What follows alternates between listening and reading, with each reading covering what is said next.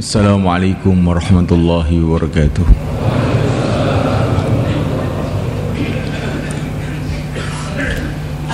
إن الحمد لله. إن الحمد لله نستعينه ونستغفره ونؤمن به ونتوكل عليه.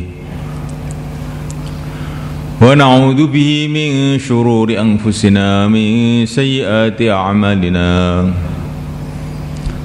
من يهدي الله فلا مضل له ومن يضلل فلا هادي له. أشهد أن لا إله إلا الله وحده لا شريك له وأشهد أن سيدنا ومولانا حبيبنا محمدا عبده ورسوله.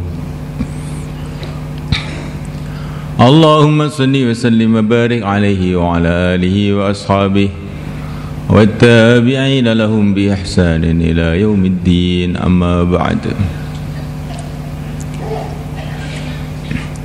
فقد قال تعالى في كتابه الكريم إن الذين قالوا ربنا الله ثم استقاموا تتنزل عليهم الملائكة ألا تخافوا ولا تحزنوا. وابشروا بالجنة التي كنتم توعدون. نحن أولياؤكم في الحياة الدنيا وفي الآخرة ولكم فيها ما تشتهي أنفسكم ولكم فيها ما تدعون. نزلا من غفور رحيم. ومن أحسن قولا ممن دعا إلى الله وعمل صالحا وقال إنني من المسلمين. ولا تستوي الحسنة ولا السيئة ادفع بالتي هي أحسن فإذا الذي بينك وبينه عداوة كأنه ولي حميم. وما يلقاها إلا الذين صبروا وما يلقاها إلا ذو حظ عظيم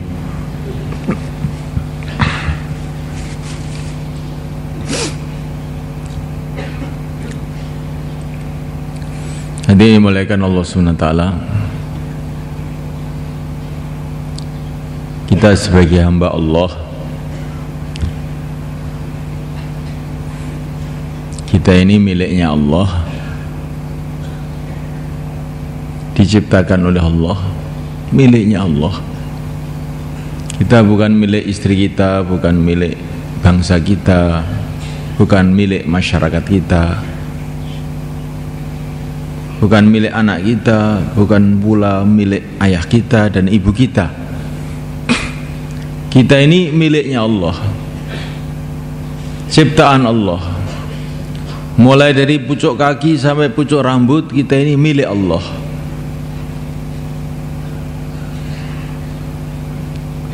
Orang sudah biasa mengatakan ini sawah saya, ini ladang saya, ini rumah saya. Ya. Lah kalau kamu ini miliknya siapa? Jarang manusia yang berpikir kamu ini miliknya siapa? Kita ini semua adalah miliknya Allah. Maka benda-benda yang katanya milik kita ini Juga milik Allah. Maka sebagai hamba Allah Kita punya kewajiban untuk mengabdi kepada Allah Ibadah kepada Allah. Wa ma khalaqtul jinna wal insa illa liya'budun Tidaklah aku ciptakan jin dan manusia kecuali tugasnya ini untuk ibadah.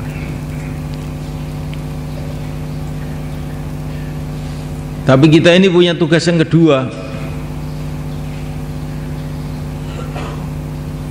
Kita ini sebagai umatnya Rasulullah wasallam.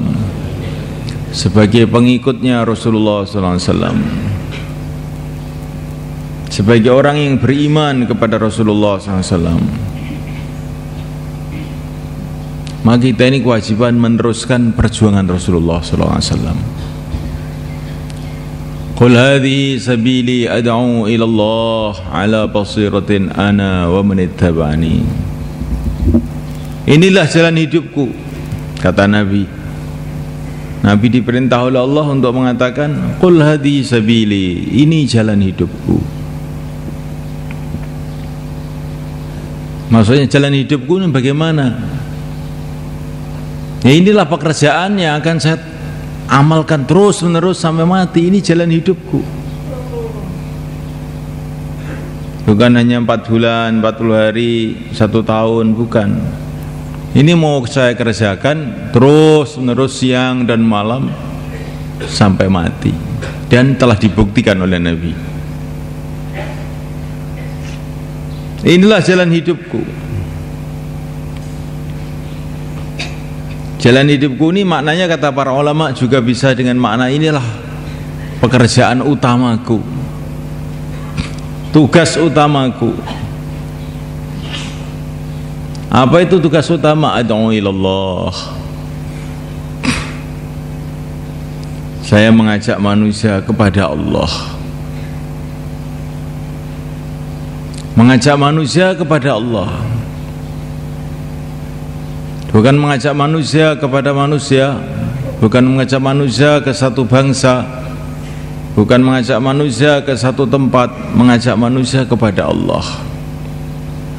Mengajak manusia untuk taat kepada Allah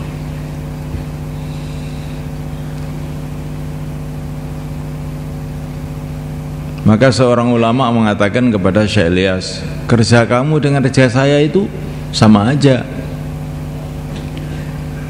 Menghidupkan agama. Maka saya lihat ada bedanya kerja saya dengan kerja samu itu ada bedanya. Bedanya apa? Kalau kerja samu itu mari kumpul mari kumpul mari kumpul ikut saya. Hmm. kalau kerja saya tidak. Mari kumpul mari kumpul mari kumpul. Taat pada Allah. Hmm. ya kita hanya mengajak manusia itu taat kepada Allah. Dan semua orang adalah hamba Allah. Perlu taat kepada Allah manusia ini tidak taat kepada Allah satu detik saja dalam bahaya besar karena manusia ini setiap detik berhajat kepada Allah kalau sampai manusia ini tidak taat kepada Allah satu detik saja itu sudah bahaya. Cuman manusia tidak menyadari. Dikira yang bahaya itu kemiskinan. Dikira yang bahaya itu bom. Dikira yang bahaya itu penyakit. Itu bahaya juga, tapi bahaya kecil bahaya yang terbesar itu bila manusia tidak taat kepada Allah sebetulnya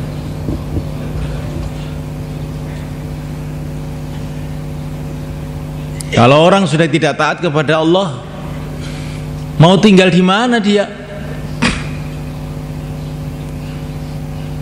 bumi ini miliknya Allah langit miliknya Allah. Mau lari ke mana? Mau masuk kuburan milik Allah juga? Maka dalam satu hadis dikatakan Allah SWT berfirman barang siapa tidak ridha dengan keputusan-keputusanku tidak sabar menerima ujian-ujianku hendaklah dia keluar dari bumiku dan langitku suruh bikin bumi sendiri langit sendiri. Carilah Tuhan selain aku katanya. Terus ke mana mencari Tuhan selain Allah?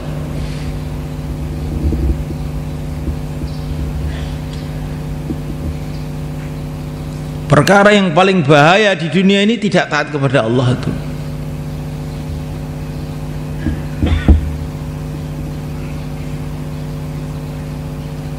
Sekarang yang dipikirkan kebanyakan manusia wah kalau saya tidak menyenangkan anak saya bahaya nanti bisa diboikot nggak bisa pulang saya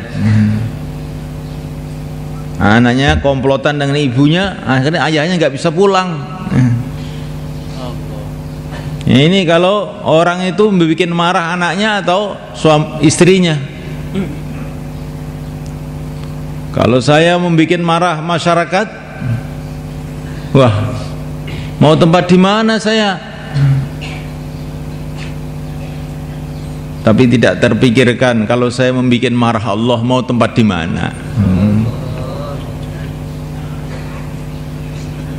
Kalau tidak bisa pulang ke rumah, pulang ke tempat lain masih banyak tempat. Kalau nggak bisa pulang ke Temboro, cari kampung-kampung yang lain masih banyak. Tapi kalau orang itu bikin marah Allah, mau tempat di mana? Mau lari ke mana? Maka ini bahaya besar. Orang bila tidak taat kepada Allah, dia akan menderita. Di dunia ini akan menderita. Pasti, walaupun dia jadi raja seperti Fir'aun, juga tetap akan menderita. diceritakan dalam satu cerita Fir'aun kalau tidur wah yang menjaga ini ribuan pasukan. Bentengnya yang untuk tidur itu berlapis-lapis. Salah satu penjaganya itu singa-singa yang buas. Sehingga kalau mau ganggu Fir'aun ini wah ditergam sama si A Tapi Allah datangkan penderitaan dari tempat yang dia tidak sangka-sangka. Setiap tidur mimpi. Nah mimpi itu tentara mana yang bisa menahan mimpi? Singa mana yang bisa menahan mimpi? Allah datangkan kesusahan itu mudah saja. Dia mimpi perasaannya ada anak kecil bawa tongkat pukul kepala dia. Maka dia terkejut nggak bisa tidur. Panggil dukun-dukunnya dipanggil tukang-tukangan ujumnya dipanggil. Saya kok mimpi begini? Ini Tuhan kok katanya ngaku Tuhan kok tanya sama dukun ya aneh. Manusia ini kalau sudah kadung sombong itu sudah luar biasa. Mau mimpi saja bingung kok ngaku Tuhan? Sampai iblis saja heran sama Fir'aun ini Iblis itu datang kepada Fir'aun. Kamu ini yang ngajarikan saya. Kok sekarang aku jadi Tuhan? Saya ini ngaku jadi hamba Allah saja gak diterima oleh Allah Diusir saya. Gara-gara tidak mau sujud kepada Adam. Di saya ini ngaku jadi hamba aja Dibuang saya ini. Nah kok kamu aku jadi Tuhan tuh bisa apa kamu itu jadi sampai iblis saja heran dengan Fir'aun. Ini manusia ini aneh betul. Kalau sudah kadung sombong nggak ada kayak manusia itu nggak ada. Melebihi iblis sombongnya itu. Melebihi gurunya. Ya.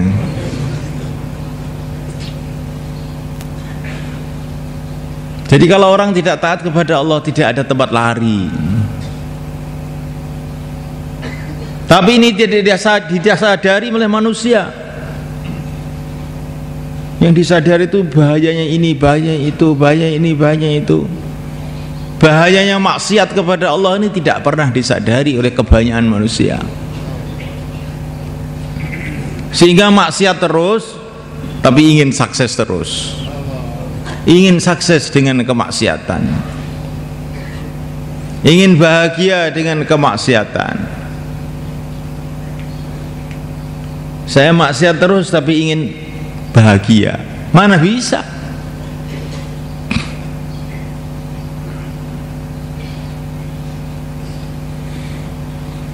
Hadirin dimulakan Allah SWT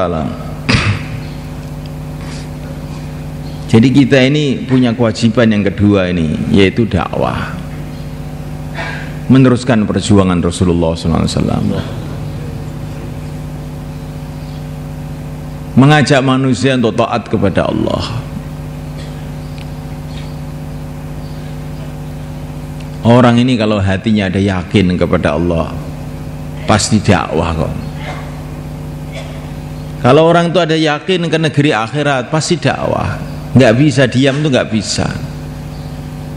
Seperti kita ini melihat orang mau di tabrak sepur mau digilas mobil kita nggak bisa diam. Mesti kita akan berteriak kamu nyigir nyigir nyigir seperti kita melihat orang buta mau masuk sumur kita nggak bisa diam. Mesti kita akan berteriak-teriak. Sumur di depan kamu. Begitu juga orang yang yakin kepada Allah Subhanahu wa taala. Orang yang yakin bahwa maksiat itu bahaya Maka dia tidak bisa diam. Melihat orang maksiat itu nggak bisa diam Mesti dia akan berteriak-teriak. Maka ukuran iman seseorang itu di antaranya adalah dakwah. Kalau orang itu nggak mau dakwah itu Maknanya imannya itu sudah lemah sekali.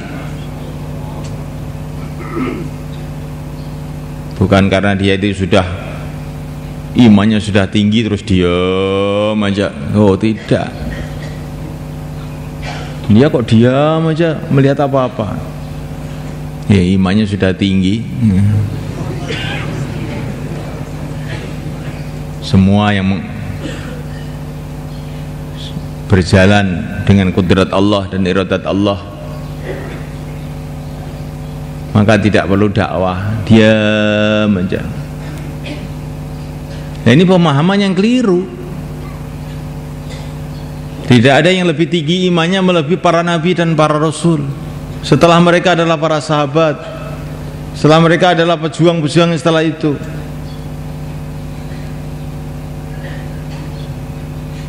Justru ketika orang itu yakin kepada Allah pasti dia tidak akan membiarkan orang berjalan menuju murka Allah. Dia akan berteriak-teriak seperti Nabi dulu berteriak-teriak. Dari rumah ke rumah dari orang ke orang. Ayuhan nas qulu la ilaha illallah tuflihu. Hai manusia katakan la ilaha illallah kamu akan sukses.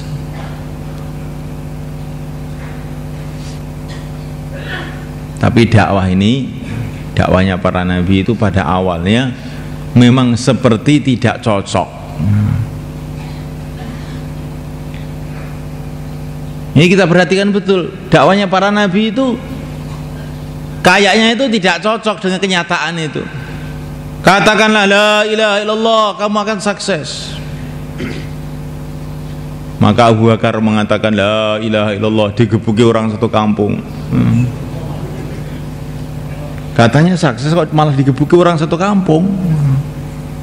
Bilal datang mengucapkan la ilaha illallah diseret-seret di padang pasir. Setiap orang yang mengucapkan la ilaha illallah maka pasti akan dimusuhi, digebuki, diusir pada waktu itu. Tapi Nabi tidak merubah dakwahnya. Terus saja begitu. Katakanlah la ilaha illallah kamu akan sukses. Hari berganti hari, bulan berganti bulan, kata Nabi jadi kenyataan.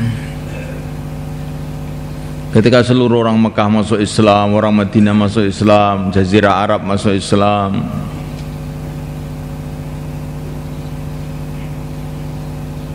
Abu Bakar menjadi khalifah Nabi.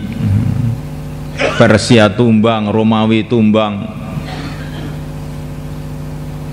Berbondong-bondong manusia seluruh dunia masuk Islam. Maka saat itu apa yang dikatakan Nabi di dunia saja sudah menjadi kenyataan.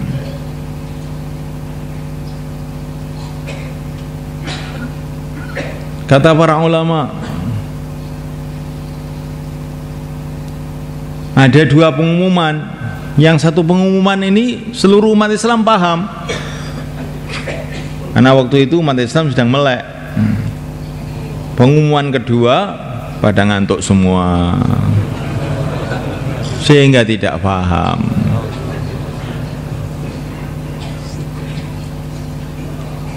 pengumuman pertama Yang mulia baginda Muhammad sallallahu alaihi wasallam adalah nabi terakhir. Tidak ada nabi lagi setelah beliau.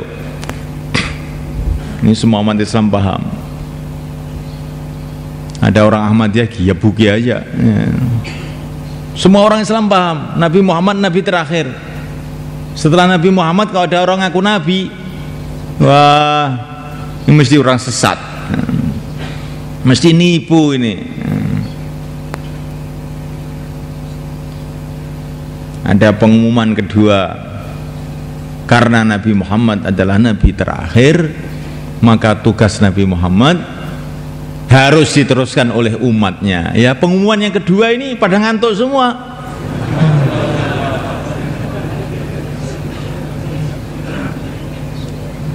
Maka setelah istimak ditanya apa hasilnya istimak? Makanannya banyak cengkehnya pak. Perutnya sakit murus. Loh kok istimak hasilnya murus makanannya kurang cocok. Jawa Timur ini pedes-pedes ini ya. saya ini aslinya ini orang Jawa Tengah. Perut saya sakit. Lo istimak suruh dengarkan bayan ngantuk. Akhirnya hasilnya petengnya sakit ya. pengumuman yang kedua ini yang perlu kita fahami dan difahamkan kepada seluruh umat Islam karena tidak ada nabi lagi. Setelah yang mulia baginda Muhammad alaihissalam maka perjuangan nabi di pundak umat. Ini yang difahami oleh para sahabat dulu. Ketika Rasulullah sallallahu alaihi wasallam wafat ketika Rasulullah sallallahu alaihi wasallam wafat maka para sahabat bangkit. Dipimpin oleh Sayyidina Abu Bakar As-Siddiq radhiyallahu taala dengan simbolnya yang masyhur. Ayung qasuddin wa ana hayy apakah agama akan dikurangi? Sedangkan saya masih hidup. Saya tidak terima agama dikurangi. Sedangkan saya masih hidup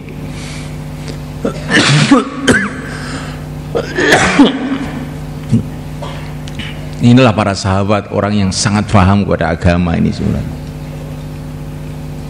Ketika Rasulullah wafat tidak ada yang punya pikiran. Rasul sudah wafat beliau nabi beliau rasul. Kita ini kan bukan nabi bukan rasul. Sudah Rasulullah wafat ya sudah berhenti. Tidak ada sahabat yang punya pemahaman seperti itu. Rasulullah wafat maka kita yang akan meneruskan. Tambah istiqomahnya di dalam agama. Dan dalam memperjuangkan agama. Ditanya oleh temannya kamu sekarang kok tambah istiqomah setelah Rasulullah wafat? Maka dia mengatakan akan saya tunjukkan kepada Allah bahwa saya ini taat kepada Rasulullah ketika Rasulullah hidup dan taat kepada Rasulullah ketika Rasulullah sudah dipanggil oleh Allah. Taat kepada Allah kepada Rasulullah ketika Rasulullah bersama saya. Dan taat kepada Rasulullah ketika Rasulullah sudah dipanggil oleh Allah SWT Rijalun sadaku ma'ahadullah alaih. Dan mereka telah men menepati janjinya mereka meneruskan perjuangan Nabi. Ke ujung-ujung dunia. Sekarang di sini ada tamu dari Suria di Suria Suria itu adalah dulunya itu bagian dari kerajaan Romawi. Kemudian pada masuk Islam di antara yang paling banyak berjasa dalam menaklukkan kerajaan Romawi ini adalah Sayyidina Khalid Ibn Walid radhiyallahu taala dan ini tamu ini beliau ini salah satu cucunya Khalid bin Walid. Dan rumahnya itu dekat kuburnya Sayyidina Khalid bin Walid.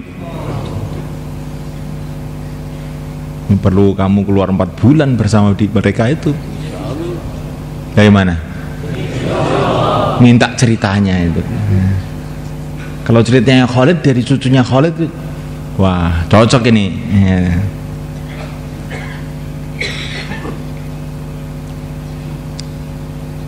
Nah mulaikan Allah SWT Para sahabat telah bertebaran ke seluruh dunia.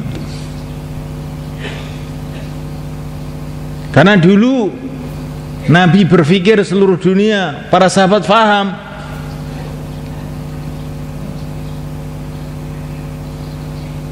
Maka sebagian sahabat ke Mesir Sebagian sahabat ke Maroko, ke Maroko sana Sebagian sahabat ke Pakistan ini banyak sahabat yang di Pakistan, di Sindi.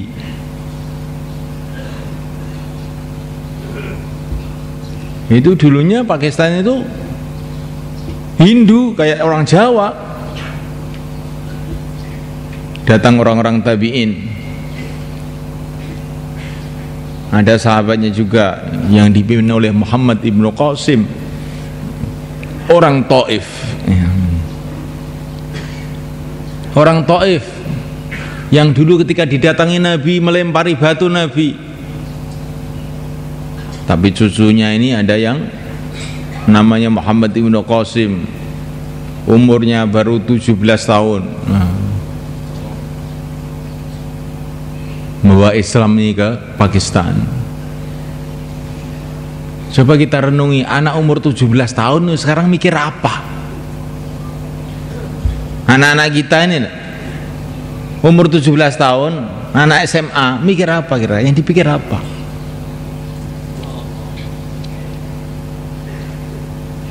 zaman dulu ini anak umur 17 tahun bisa mengislamkan satu bangsa yang besar anak umur 17 tahun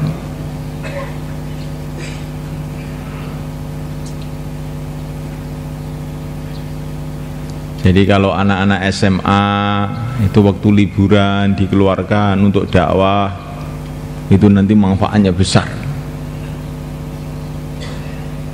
Jangan dikira yang bisa dakwah itu orang-orang tua yang sudah peyok-peyok begitu barulah ini layak untuk dakwah. Anak muda pun layak untuk dakwah. Sunan Ampel datang ke Jawa Timur umurnya baru 19 tahun nah, ini Islam kan orang Jawa semua ini umurnya baru 19 tahun sekarang anak umur 19 tahun ngapain apa yang dikerjakan kita lihat sendiri padahal ini anak-anak ini kalau dibentuk fikir agamanya akan terbentuk semua. Sekarang di mana saja orang tuanya, ibunya, adiknya, kakaknya, tetangganya semua mikir duit. Akhirnya anak umur tiga tahun sudah ngerti duit. Anak umur tiga tahun sudah ngerti duit itu sudah ngerti.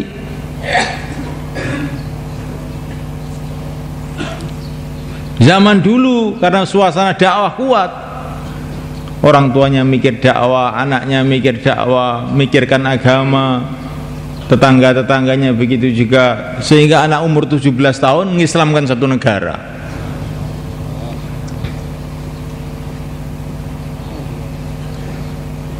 Bagaimana keadaan umat Islam saat ini? Sudah hampir masuk kubur belum mikir agama. sudah tua mengkis-mengkis nonton TV lagi nah. Masya Allah ini Israel sudah di belakang kamu itu kok nonton TV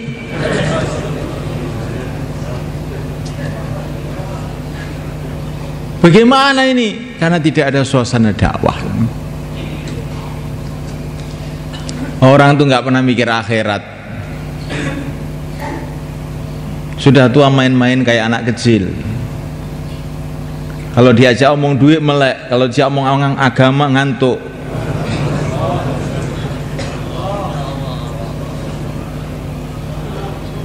Mau di dunia terus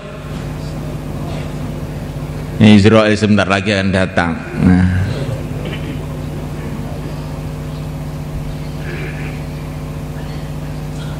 ada orang itu ada orang keluar di masjid itu heran.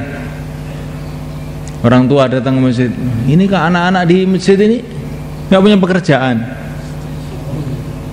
Kok di masjid saja? Nggak mikir dunia Gak makan nasi kamu, makan batu. Oh. Maka orang-orang yang di masjid itu, lah kamu mikir dunia aja, nggak mau mati kamu. Kamu mau hidup selamanya, sudah mau mati kamu ini. Wah, akhirnya berantem di masjid. Jadi dakwah itu tidak boleh berantem, akhirnya nggak jadi dakwah. Idfa' billati hiya ahsan. Fa idzal ladzi bainaka wa bainahu adawatun ka'annahu waliyyun hamim. Kalau keburukan itu ditolak dengan kebaikan maka musuh jadi teman setia. Kalau dikatakan ini orang dakwah nggak punya pekerjaan di masjid aja. Banyak pak pekerjaan. Saya ini juga petani punya pekerjaan ini polisi punya pekerjaan. Ini mahasiswa punya pekerjaan. Kita ini orang-orang sibuk pak. Tapi kita ini menyadari mau mati juga. Akhirnya kita ini duduk di masjid untuk memikirkan nih bagaimana ini. Kalau sibuknya itu mungkin sibuk kami dengan bapak. Ini bos ini hmm. bos tebu temboro hmm. ini waktu panen tebu nih tapi saya pikir-pikir kalau waktu panen tebu bukan berarti Israel cuti hmm. maka saya sempatkan juga keluar 40 hari walaupun panen tebu